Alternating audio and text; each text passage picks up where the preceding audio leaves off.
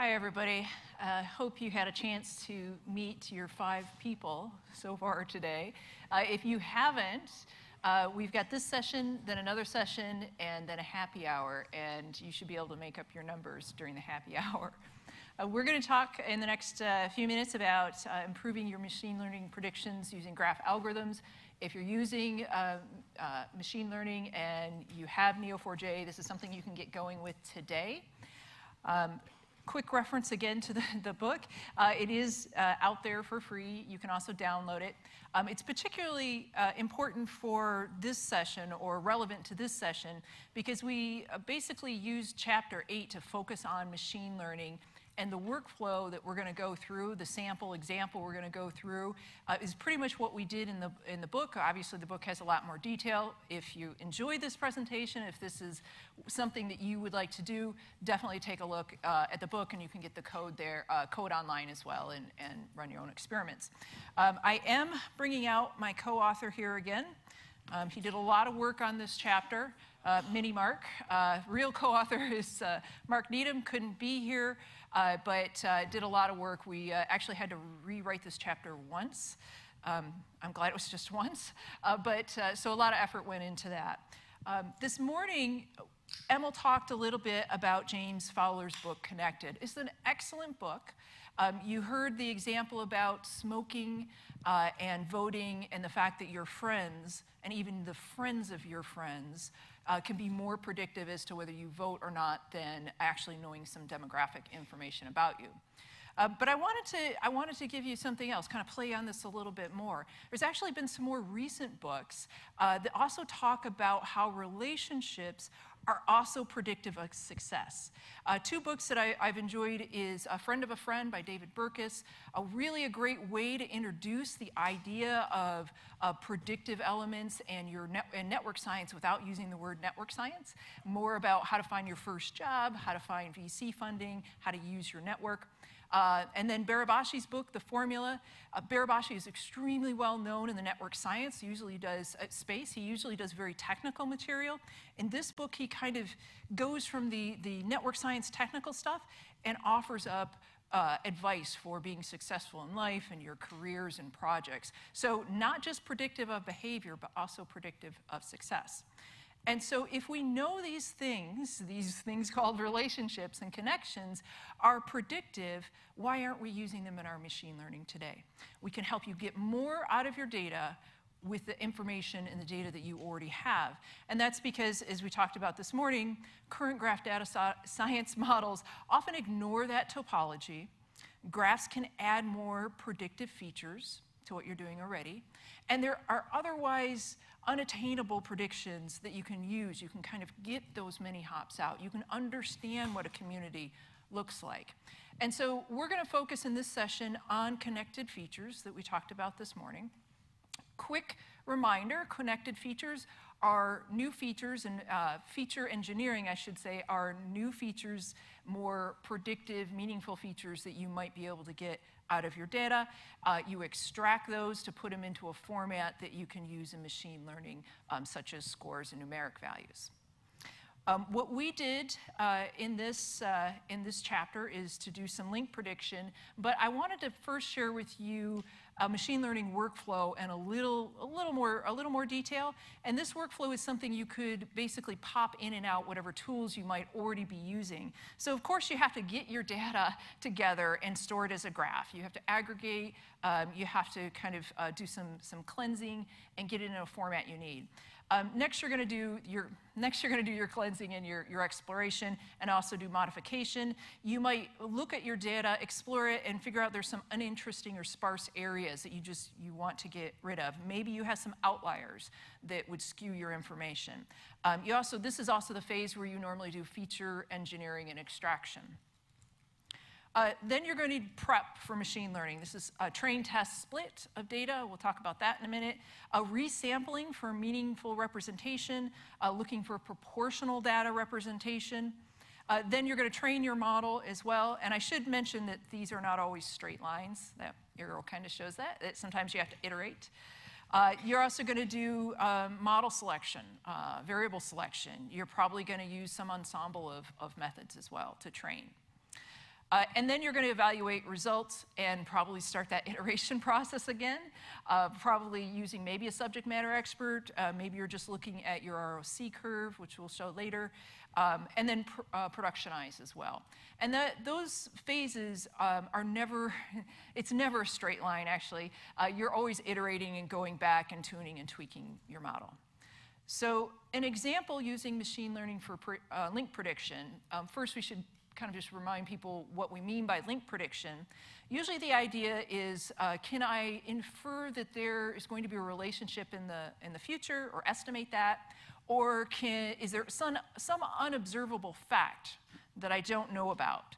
And an example of that, actually, there was an interesting paper about using link prediction in criminal networks to analyze uh, possible connections that they were pretty sure were there, but the data wasn't, wasn't there yet, and so that they could then target um, potential relationships. Um, so, so some really, you know, trying to kind of look forward. There's a couple methods for link prediction. One is to just simply use uh, algorithms and the, the measures. So uh, there's a couple we're going to talk about, uh, you know, centrality, uh, similarity, uh, link prediction itself, community detection. Those can just be used and you can set up a threshold. If the value is above a threshold, you predict a link. If it's below a threshold, you, you predict there isn't one. Um, but also, you could use machine learning, and you can take those measures and then do learning on those measures to train your model. And that's actually um, the approach that we took. So we were trying to predict collaboration uh, in the future. And that's kind of an interesting thing is what, you know, what people are going to work together in the future that we, we don't know about yet. Uh, so we use a citation network. It's um, a uh, network you can just search on uh, ArnetMiner and uh, find this, but it's a good paper, uh, and you can find information about the, the, um, the data. It uses research data set from, from various different sources. We used a subset of that data, and so if people cited each other, we assumed it's co-authorship, and there's a relationship called co-author, and, and then if they do it repeatedly, we also um, look at that. We use Neo4j to create that co-authorship graph and uh, do the feature engineering, and then we use Spark and ML uh, lib to do our train and uh, test of that. Um, we actually looked at, we developed four different models with multiple graph features. Um, there were many algorithms that we took at, looked at, and that's what I meant by trial, trial and error. So the, the thing to note when you're looking at uh, testing algorithms and building your, your model, a lot of people want to know, well, which algorithm do I choose to find this? It, uh, the answer is that it just depends. Who knows? You've got to test it out and, and try it. You can, there's some general guidelines if you're looking for communities. You know, obviously community detection is, is, is a good one to start with, but you really just have to go through. In fact, uh, there was a, a couple things we were trying to, uh, to test out, and we just couldn't get them to be predictive. Um, so it's just a matter of, of, trial and error in that. Um, the four different models, uh, first we just did a really simple one attribute or one algorithm uh, looking at common uh, authors or common neighbors. Then we started adding in more graphy features, looking at how many connections in common, how many neighbors in common. Then we started adding in um, things like clustering coefficient or cl clustering coefficient and and triangle counting, trying to look more at uh, more complex relationships. And then we added in community uh, detections as well. We've got label propagation and Louvain modularity as well. So we had four different methods or four different models to test. You might be testing uh, many more. Uh, but then we went and did a, a, test train split of our data. Now, why, why would you want to do that? Um, if we both tested, or if we both trained and tested on the same data set and the same data, I, you can imagine my results would just be through the roof. I, I, you know, if I didn't get 100%, there'd probably an error in the code somewhere. Um, so basically, in, for all machine learning, you want to do a train test split. Uh, and a common method of doing that is actually just to randomly do it and to arbitrarily do it. And so in this example, uh, my train is blue, my uh, test is gray. And I want you to think about an arbitrary split on a graphy model or a graph uh, data set. So a couple columns here, I've got common neighbors and preferential attachment. Let's, let's just look at common neighbors. So first node, second node, uh, first row, I've got a one and a two. So my node number one, my node number two, common neighbors, they have four common neighbors. That's in my train set. Now let's look at where's 2 again. Okay, 2 about halfway down. Uh, we've got uh, 2 and 12 node. Let me see, make this easier for you guys. 2 and 12. They also have some common neighbors, but 2 is here and 2 is here, and some common neighbors. There may be common neighbors here that are also here. So can anybody guess what happened the first time we ran this? All right, we got unbelievably good results because we were cheating. So especially if you're doing multiple measures that may have some common element, and remember this is graph, everything's connected. So you have to really think about how you're testing and training. Um, this is referred to as data leakage. Uh, I like to refer to it as cheating because I have some of the answers in both my test and my training. Um, but you have to you have to think about that with um, with graphs. And the a really good way to get around that, uh, and the, what we use is actually just to do a time split. So what we did is we looked at just first co-authorship and didn't look at some of the, the later co-authorship, and then we split by time frame. And so what that allowed us to do is to have two different graphs that weren't contaminating each other that we were able to then test and train on.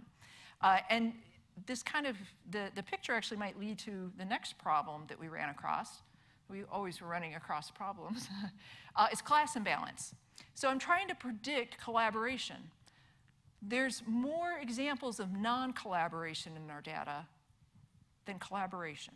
And that kind of makes sense because you can imagine of all the people you know in the room already, you've already met, and all the people you haven't met, my guess is you haven't met more people than you've met. Yeah, I think I said that right. so class imbalance can actually also lead to a really high accuracy model. So in this case, um, so, so you might just predict everything didn't have a link and you'd have a lot of accuracy. I, I actually really like this picture because if I was trying to classify or try to predict whether in this data set I had a blue fish or a red fish, I'd just predict blue all the time. And I'd be, what, 90, whatever percent, maybe not 90, but I, I might be 90% accurate. And, and, but I would never find the red fish. Uh, so you have to balance your, um, your set as well. There are two general methods for doing that, uh, downsampling and upsampling. Uh, both of them have uh, pros and cons. We chose downsampling. Uh, but what you do, uh, the con of downsampling is that you do have the potential to lose predictive information because you're basically removing predictive uh, information or you're removing information in, to, in order to get your balance. Upsampling, um, the, uh, the issue with upsampling is that you might be training your model on uh, one of the results. So you're basically, you duplicate the data you have, which means you're training on duplicate data, which uh, potentially could overfit and influence your overall um, results. So next we, we went through and actually trained the model. Um, we use a random forest binary classifier on that. And this is just one decision tree. If you're not familiar with random forests and decision trees, they're really not that complicated. Um, if you can think of this as a decision tree, it's pretty simple. Uh, step one, uh, does the node have more uh, common authors than 1.5? Uh, is what's the, uh, you know, what's the, the um, impurity on that? I either go true or false. Uh, node 2 says, hey, uh, common authors, is it uh, below 2.5? And you just step through the logic. But this is one tree and you have another tree that does something similar, and you have another tree and another tree, and they all come to a final decision, a final classification, link, no link, it makes its prediction, and then there's a, a voting at the end. How many, uh, how many pluses, how many minuses, uh, how many zeros, how many ones, and then you, um, then you come to a consensus. So when we trained our model, we used pretty common um, evaluations, common measures for it. This is our first result. Um, just a, a, quick primer, if you're not familiar with it, on the x-axis, it's probably hard to see, um, that's a false positive rate. Uh, so, you know, having a bunch of false positives, not a good thing. Um, true positive rate is on the y-axis. Uh, that mapping is uh, usually called an ROC curve. Uh, and it's uh, very common for you to try to maximize that to be as far left and as far high as you can get. Uh, and the AUC just means area under the curve. And that's kind of what's the, what's the total um, area in the, the valid good uh, measure. Um, the other measures that you see is accuracy, recall, and precision. Um, accuracy uh, as, as we looked at, kind of correlates here to the, um, the AUC. Uh, recall is about false positives and reducing those, and then precision is, is as, it would, as it would seem. The one thing to say about measures, it's always good on the, the accuracy, recall, and precision to get those numbers up unless you need to tune for something specific. So uh, in this uh, example, there's a really problematic false positives here at the top. In order for me to get to the true positives at just over 80%, I'm at 20% false positives. And if I have 20% false positives, and uh, let's say I am trying to detect fraud in some customer um, credit scenario, I, would be turning away 20% of my customers. And that's just not, that's just not acceptable. Um, so you may, be tune, you may tune for one uh, element in your, uh, in your models and actually reduce some of the other, um, uh, some of the other measures. And that's okay if that's, that's what you need to do. So we went through and we played with um, many different algorithms and, and, models to try to play with this. Those four are what, um, what we ended up tuning to. And at, by the end of it, so this is all our models together, uh, and the uh, measures on the left side are just the, the model four, that last model. And you can see that we were able to get our, uh, our measures up uh, fairly well. Uh, it would be interesting to then play with uh, further tuning, but it was an interesting example of how adding connected features actually increased uh, our predictive nature. And I'll say the other, the other thing that's interesting is as I've looked at some of the research in this, um, adding only relational or connected features uh, isn't as predictive as mixing things. Um, I can't quite tell you why that is, uh, but it's not as, um, as I've said to other folks, we're not telling you you should replace what you currently do, but add to it because it seems that together, uh, actually you get, you get better results. Um, the other thing that you'll want to do is actually kind of say what features were most influential to, um, to the model and how do I tune to those features. So um, Random Forest uh, actually has a, a, way to do ratings on influence of features, rankings actually um, against each other. And so you can see here that common authors, that's over there on the left, uh, and Louvain, which is a community detection algorithm, uh, actually were very influential. Uh, we've got a couple other community detection ones, and um, then some others that aren't as predictive here on the, uh, on the right. Now, it would be interesting, the, what we didn't do is test pulling certain ones out. That would change rankings. Uh, maybe actually even pulling some of the more influential ones out and kind of see what, what happens as well. Um, so the rankings are in comparison to each other. It's good to do your tuning and, and play around with different options. I mentioned try PageRank here, um, but forgot to tell you why you want, to try PageRank. Um, the other thing you can do when you're looking at what's most influential in my model is actually use the PageRank algorithm to look at influence of, uh, of, your, of the features in your model as well. So another way to take a look at that and, uh, and play around. So Oh, and I did include a slide on that. Um, so the reason why you would want to tune that and look at influential features and not have too many features is that if you have a lot of features, what that can do is it can indicate and it can train your models to be very highly tuned to your, your tests and your trains uh, data set, your testing data set. And if you do that, um, it's basically, it's called overfitting. That means it's harder to uh, use your models in other scenarios. So your model will work really well. Oh my God, you, you know, you have 99% accuracy when you run it on your um, training. And then when you take it out there in the real world, it, it just doesn't work. Um, so to avoid that, you want to minimize features that aren't important. Uh, so looking at features, looking at um, the influence of them is, is definitely something you want to do as you step through your models. Okay, so, so the other question is, okay, cool, what algorithms do I use? And I, and I know I said try them. We have many. We talked about, about them previously. Um, there are a lot of different algorithms you, you can try. I'm going to give you a sampling of a few, talk through a few uh, that, that, see, that come up over and over again in the literature and that we've also seen as, as very predictive in general. Uh, community detection is one of those that is, um, is, as a category, is very predictive. Um, triangles and clustering coefficient are, uh, are to me, uh, surprisingly uh, predictive just because they're very simple. Uh, but they actually measure something very interesting. So triangles, if we're thinking about triangle for you here, it's just a count. How many triangles does you have? A clustering coefficient is a, basically a probability that looks at how, how likely is it the neighbors of you are to already be connected.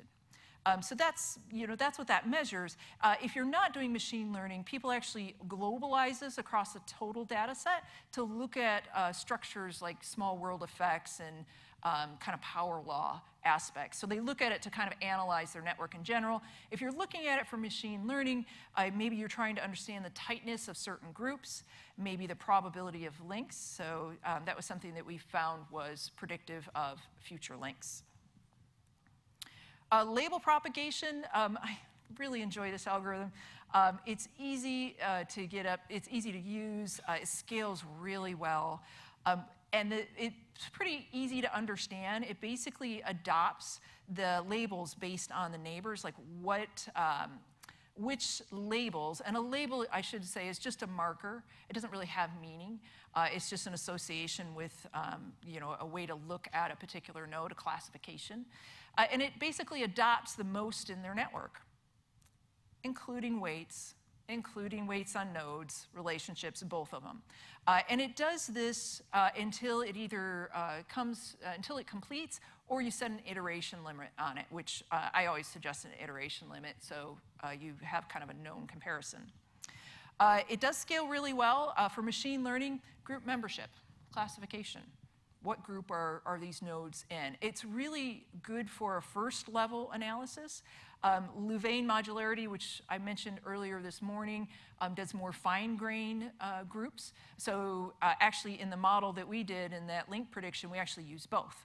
And they were both fairly predictive. Uh, Louvain was actually more predictive. So um, that was kind of an interesting result. So uh, that is an interesting algorithm. Uh, PageRank, I just had to mention PageRank we didn't actually use it in this scenario. I just felt like if I, if I didn't mention PageRank when I was talking about algorithms, people would be upset with me.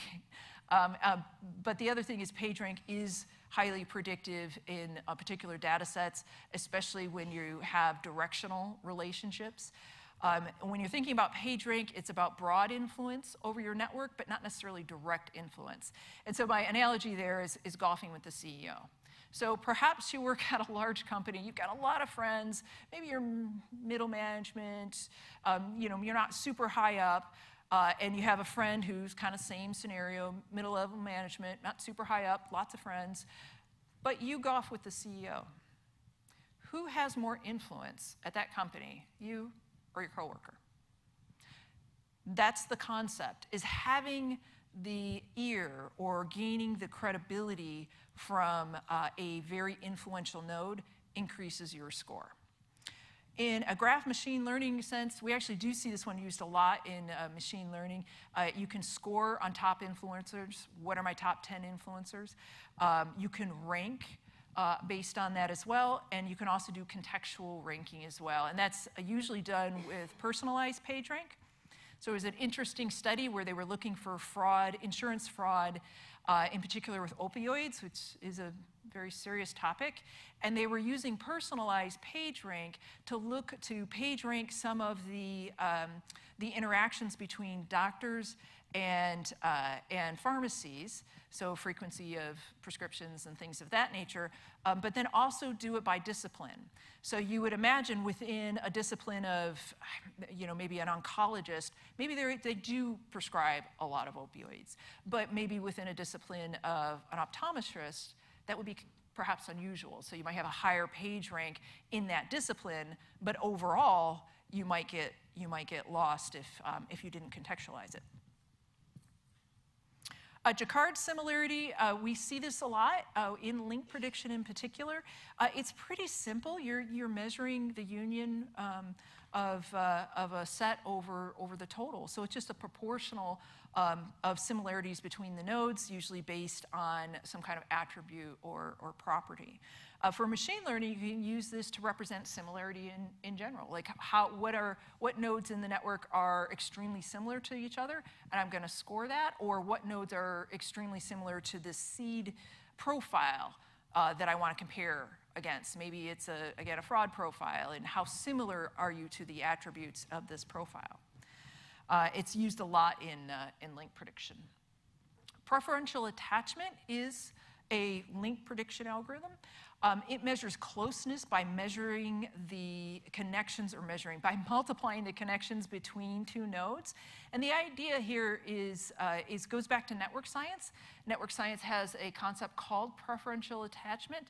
And the idea with that is the rich get richer. And they, we actually don't know why that tends to happen. There are a lot of theories about that. But the idea is if my network is really large and there's another node coming into the, over uh, the overall graph itself, that new node is more likely to bump into me because I have a large surface area um, than to somebody with a, a smaller surface area. Uh, for graph perspective, just the probability of re relationships forming. Uh, the other link prediction that we see a lot is common neighbors. Um, so that's just looking on, looks at the potential triangles. So it's triadic closure. So the idea with this algorithm or the intuition with this is that if you have two strangers that have never met, but they happen to have quite a few friends in common, what's going to happen? They're going to get introduced sometime. At some point, they will get introduced. That's, that's the concept with common neighbors. There's an interesting variation that I kind of find fun. It's called, it's weighted common neighbors, or, or um, officially called Adamic Adar. Uh, that actually weights unusual similarities higher. And the example with that is if, if I said I want to guess similarities based on how many people here like Game of Thrones, because I like Game of Thrones, is that really predictive that we would know each other? Probably not.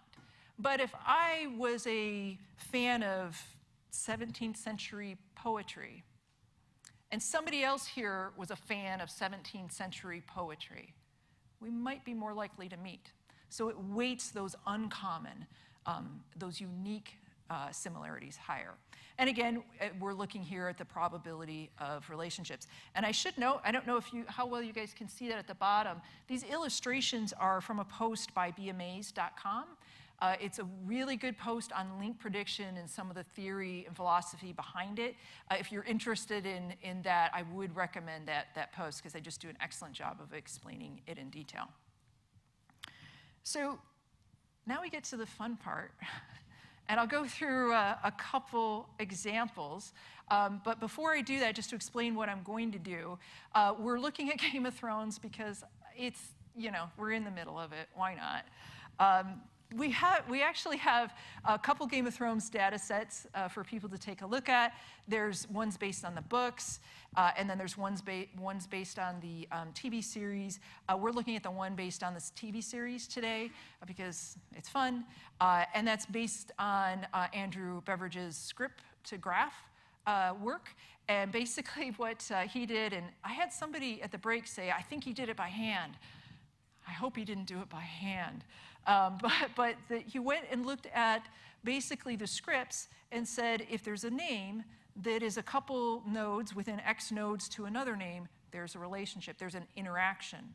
And he goes, you know, goes through the scripts and, and does these interactions. Um, so it's an interesting method, and it's surprisingly, uh, surprisingly matching what actually happens, actually, which is why it's so fun. Uh, I'm going to be showing you a demo with Neo4j Desktop uh, and, and uh, the algorithms and something we're called a playground. I'm just curious, um, how many people have played with uh, Neo4j Desktop? Oh, fantastic. Okay, great. Um, and how many of you that did that, or how many in the audience are developers? Fantastic. Okay, good. Well, I can whip through some of this. So if you already have desktop, you want to make sure, if you haven't already, um, to add in, oh, two things. You want to make sure the graph algorithms plugin is in, and have that. And then there's this new little thingy, and this is both terribly fun and dangerous. So we have our uh, graph algorithms playground, affectionately internally also known as Neuler, N Euler, if you get that. Um, it's an app, it's a visual app that our labs team has done.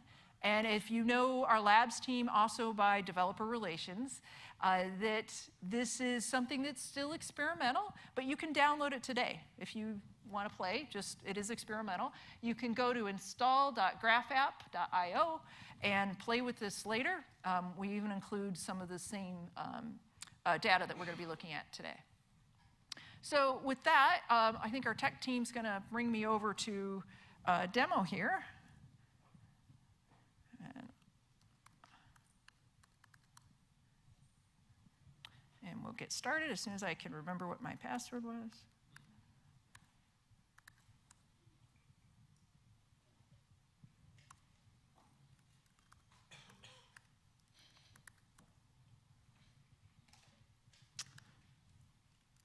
It's impossible to see the caps lock button on here with all the light. so, excuse me, guys.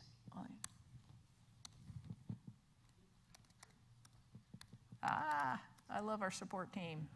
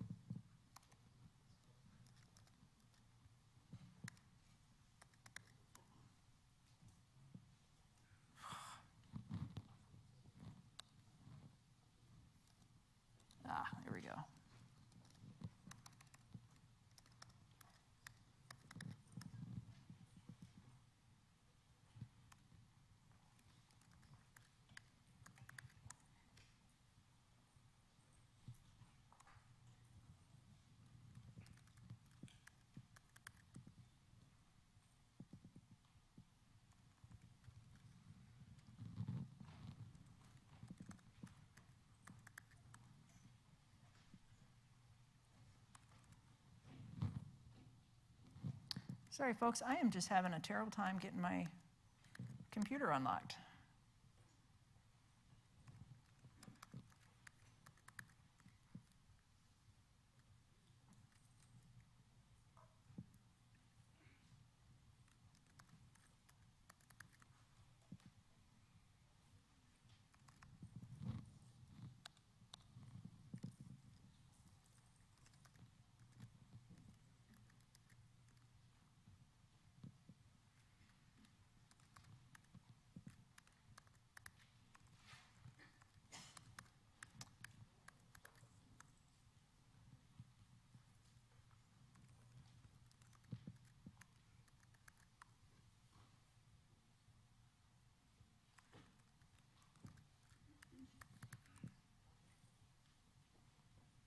All right, I'm going to give up on my computer, which is really sad because I had live demo. Hmm.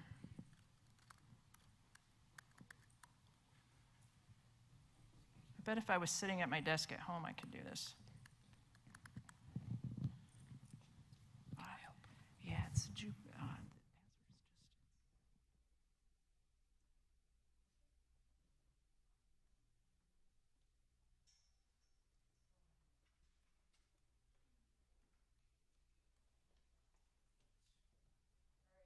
was a good citizen and I reset my password.